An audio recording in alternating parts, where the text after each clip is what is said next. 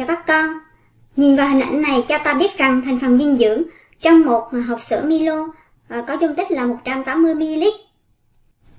Qua số liệu này thì các con có thể xác định được ờ, tỷ lệ hay tỷ lệ phần trăm của các chất ờ, trong hộp sữa này hay không. Tương tự, trong hình vẽ số 2 với hình ảnh trừ 70% cho ta biết rằng vào ngày Black Friday thì tất cả các sản phẩm sẽ được giảm giá là 70%. Vậy thì chúng ta có thể tính được à, giá của mỗi sản phẩm sau khi giảm hay nếu như biết giá của mỗi sản phẩm sau khi giảm thì có tính được à, giá gốc của mỗi sản phẩm hay không? Đối với hình vẽ số 3 là số liệu thống kê về Covid-19 ở Việt Nam và của thế giới. Từ đây chúng ta có thể tính được à, tỷ lệ giữa số ca nhiễm, số ca điều trị, số ca khỏi, tử vong ở Việt Nam hay ở thế giới, hay mối liên hệ giữa Việt Nam và thế giới hay không? Tất cả những câu hỏi trên sẽ được trả lời trong chủ đề ngày hôm nay, tỷ số, tỷ số phần trăm, hai bài toán về phân số. Đây là những dạng toán mà các con đã được học ở chương trình lớp 6. Hôm nay nhằm củng cố lại kiến thức để các con vận dụng tốt hơn thì cô sẽ chia bài học thành hai phần chính. Ở phần 1 sẽ nhắc lại về tỷ số, tỷ số phần trăm. Ở phần 2 là hai bài toán về phân số. Đó là tìm giá trị phân số của một số cho trước và tìm một số khi biết một giá trị phân số của số đó. Đầu tiên là chúng ta đi vào phần 1 tỷ số, tỷ số phần trăm. Đầu tiên là các câu hỏi nhanh. Tỷ số của hai số A và B với B khác không được ký hiệu là gì? Thời gian suy nghĩ bắt đầu. Và câu trả lời chính xác đó là Đúng rồi, tỷ số của A và B chúng ta sẽ được ký hiệu là A phần B hoặc A chia B. Chúng ta đến với câu hỏi số 2. Trong các cách viết sau, cách viết nào là đúng để biểu diễn tỷ số của 5 và 6? Các con hãy suy nghĩ xem. Và câu trả lời đó là hoặc là 5 chia 6. Tiếp tục với câu hỏi số 3. Viết tỷ số của các cặp số sau. Các con hãy làm đồ vở nào.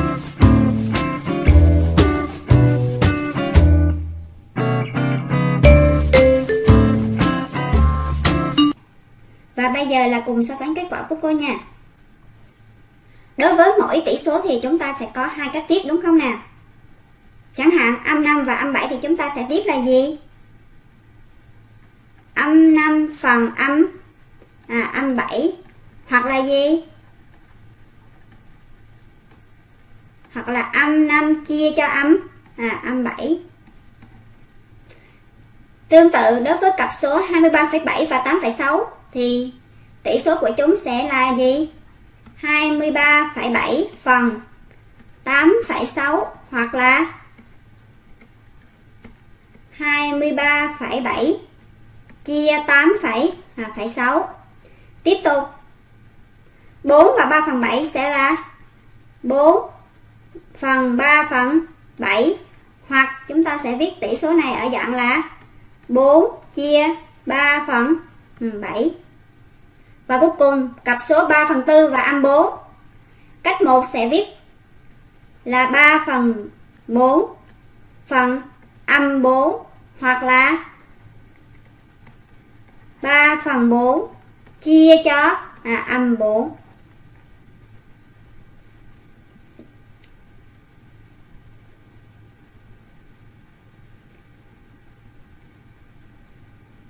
Với các tỷ số này thì các con hãy cho cô biết tỷ số nào sẽ là phân số. Như các con đã biết tỷ số là phân số nếu như tử và mẫu đều là số là số nguyên. Như vậy, trên màn hình chúng ta chỉ có một tỷ số là phân số. Đó là đó là tỷ số âm 5 phần âm à, âm 7. Chúng ta tiếp tục với câu hỏi số 4. Cho đoạn thẳng AB có độ dài là 9cm, đoạn thẳng CD có độ dài là 6cm. Tính tỷ số độ dài của đoạn thẳng AB và đoạn thẳng CD. Cô nhắc lại, tỷ số độ dài của đoạn thẳng AB và đoạn thẳng CD. Đây là tỷ số của hai đại lượng cùng loại và cùng đơn vị đo.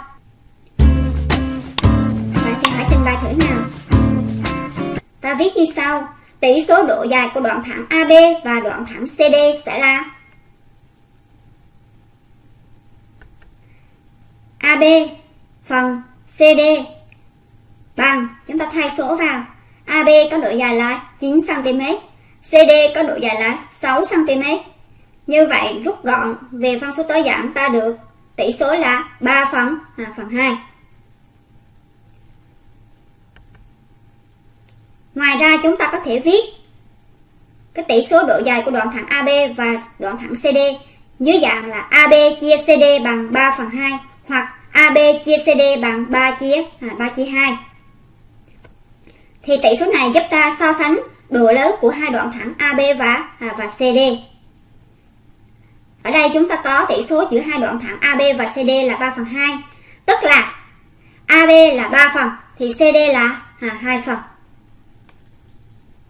Như vậy vừa rồi chúng ta đã cùng nhau đến với bốn câu hỏi trắc nghiệm nhằm củng cố à, kiến thức về tỷ số. Chúng ta sẽ đến với câu hỏi số 5. Cụ thể câu hỏi đó là tỷ số phần trăm của A và B là công thức nào?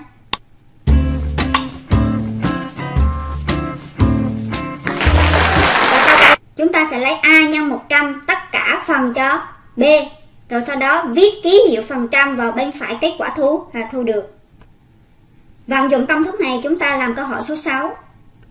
Tỷ số phần trăm của 9 và 12 là bao nhiêu?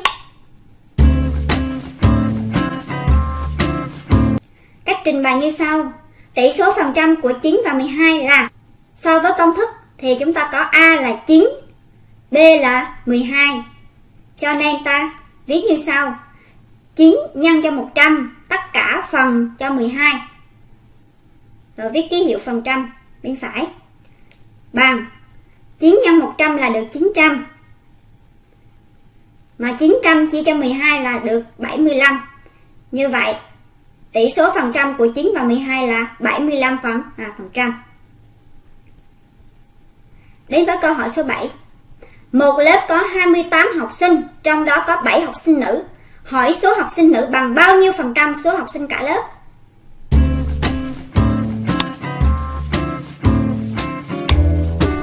Thời gian suy nghĩ bắt đầu.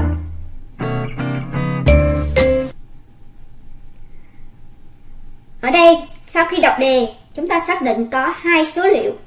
Đó là gì? 28 và 7 ở đây 28 là số lượng học sinh cả à cả lớp. Còn 7 là số lượng học sinh à, sinh nữ. Như vậy để biết số học sinh nữ chiếm bao nhiêu phần trăm số học sinh cả lớp thì ở đây chính là tìm tỷ số phần trăm của hai số 7 và 28. Chúng ta trình bày như sau. Tỷ số phần trăm của số học sinh nữ so với số học sinh cả lớp sẽ là 7 nhân 100 tất cả phần 28 Viết ký hiệu phần trăm bên phải 7 nhân 100 là bằng 700 Mà 700 phần 28 Rút gọn ta được là 25 Vậy số học sinh nữ lại chiếm 25% số học sinh cả cả lớp Đây là dạng toán tìm tỷ số phần trăm của hai đại lượng cùng loại và cùng đơn vị đo Tương tự như tỷ số thì tỷ số phần trăm của hai đại lượng cùng loại cùng đơn vị đo giúp ta có thể so sánh được độ lớn của hai đại à, đại lượng. Như vậy là chúng ta đã đi hết phần 1 à, ờ, về tỷ số tỷ số phần trăm. Chúng ta sẽ đến với nội dung cuối cùng. Đó là hai bài toán về phân số. Tương tự, cô cũng có những câu hỏi trắc như sau. Câu hỏi số 1. Hãy kéo và thả đáp án thích hợp vào ô trống. Thời gian suy nghĩ bắt đầu.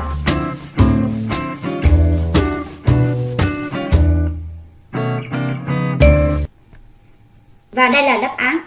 Cô sẽ phân loại ra các con dễ nhìn hơn. Dòng 1. Tìm giá trị phân số của một số cho trước. Giá trị m phần n của số a cho trước là lấy a nhân m phần n ở đây các con nhớ là n khác à khác không từ đó chúng ta có thể xác định được giá trị m phần trăm của số a cho trước theo công thức a nhân m phần 100 Dạng 2, tìm một số biết giá trị một phân số của số đó. Muốn tìm một số khi biết m phần n của số đó bằng a thì ta sẽ tính a chia m phần n. Nghĩa là đây là dạng 2 là ngược lại của bài toán à, dạng 1. Chú ý ở đây là m và n đều khác không. Từ đó chúng ta xác định được muốn tìm một số biết m phần trăm của số đó bằng a thì ta tính a chia m phần 1 là 100. Vận dụng tất cả các công thức này, chúng ta làm bài tập số 2. Tính Câu A 6 phần 5 của âm 20, câu B 17% của 1200. Thời gian suy nghĩ bắt đầu. Cùng xem là bốn công thức.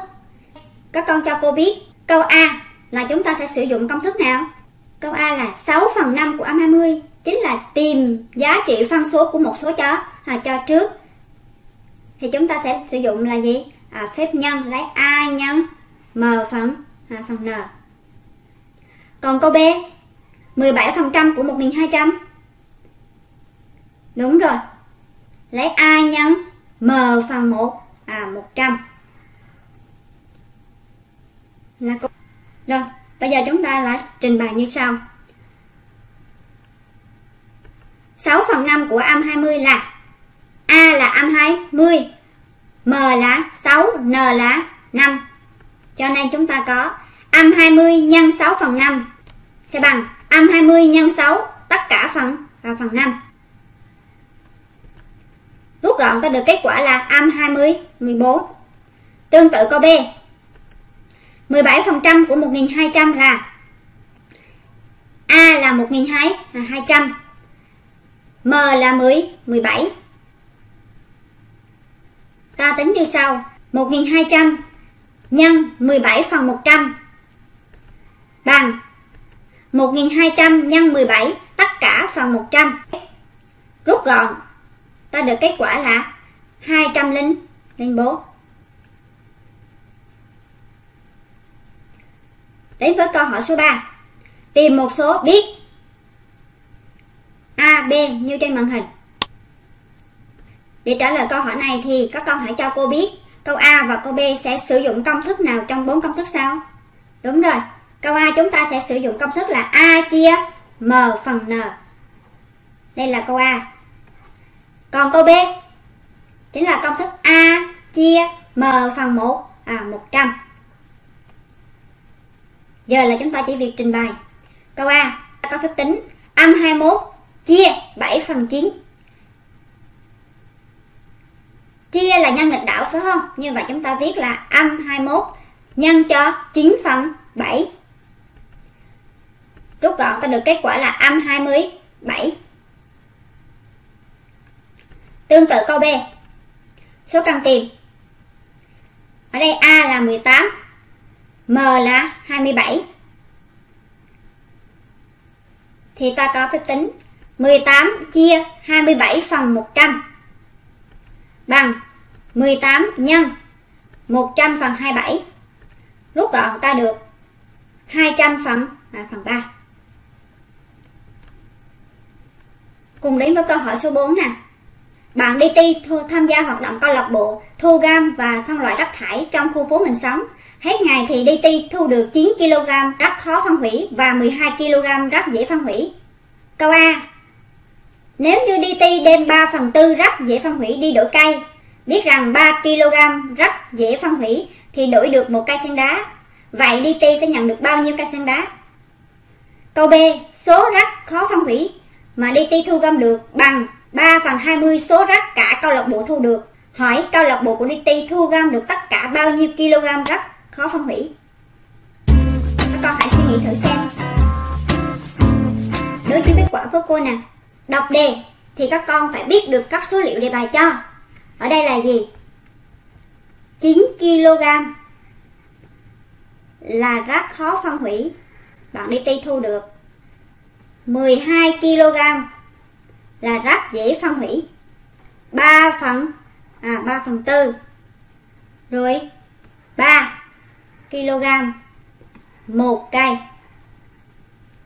đề bài hỏi là DT nhận được bao nhiêu cây sen đá Như thế thì chúng ta phải xác định được số kg rác dễ phân hủy mà DT đem đi à, đem đi đổi. Đúng không nào? Mà chúng ta biết là DT chỉ đem 3 phần tư rác dễ phân hủy đi đổi thôi. Thì đây là dạng toán gì? Tìm giá trị phân số của một số cho trước.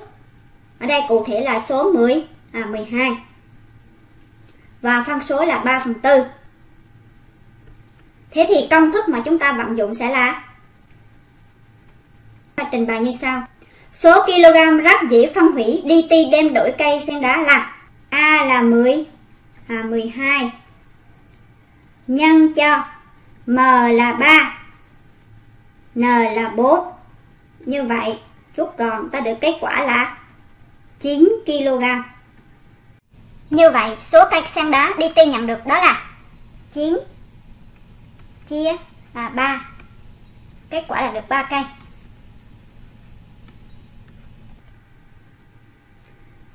Tiếp tục qua câu B. Ở câu B chúng ta có số liệu gì? 3 phần 20. À. Đề bài cho là số rác khó phân hủy của DT thu gom được bằng 3 phần 20 số rác mà cả câu lạc bộ thu được. Như vậy ở đây số kg rất khó phân hủy mà câu lạc bộ DT thu gom được chính là số mà 3 phần 20 của số đó là bằng 9. Vậy thì chúng ta sẽ sử dụng công thức nào?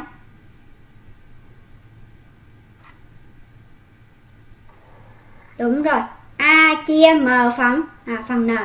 Như vậy chúng ta trình bày như sau.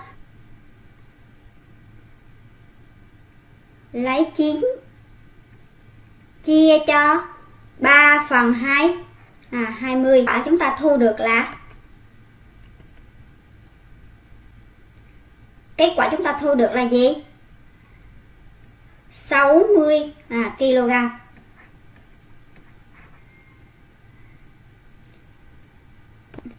Sẽ là một bài toán mà các con thấy vô cùng quen thuộc gặp rất nhiều trong đời sống. Ở đây cô có là đôi giày này đang được treo với cái biển đó là 40% xe ấp thế thì nếu như giá niêm yết, thế thì nếu như con biết được giá niêm yết của đôi giày này là 800.000 đồng, tức là cái giá ban đầu á, trước khi giảm, thì giá của đôi giày sau khi giảm 40% sẽ là bao nhiêu? Muốn biết giá của đôi giày sau khi giảm là bao nhiêu thì các con phải biết phần trăm à, sau khi giảm là lấy 100% trừ cho 40% là bằng 60%. Thì khi đó giá của đôi giày sau khi giảm chính là 60% của 800.000 đồng. Thì chúng ta sẽ sử dụng công thức A nhân M chia 100. Ở đây cụ thể ta viết phép tính 800.000 nhân 60 phần 100 Rút gọn ta được kết quả là 480.000 Và ta viết kết luận. Nhớ là thêm đơn vị, đồng vào ha.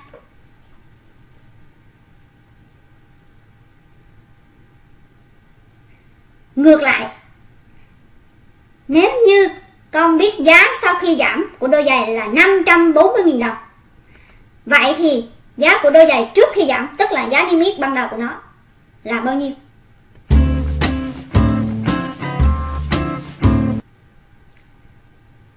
Để làm được điều này thì đầu tiên chúng ta cũng phải tính phần trăm sau khi giảm là 100% trừ 40% là bằng 60%.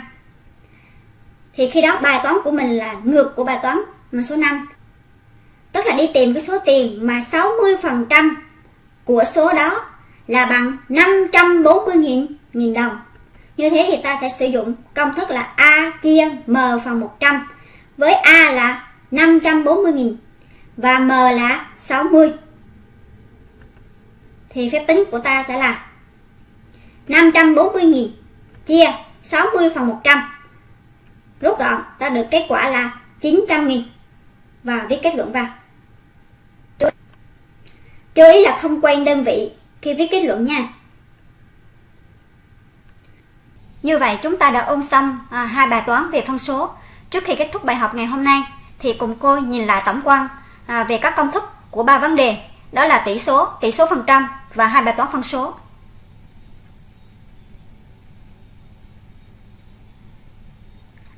Chào tạm biệt và hẹn gặp lại các con ở video bài học tiếp theo.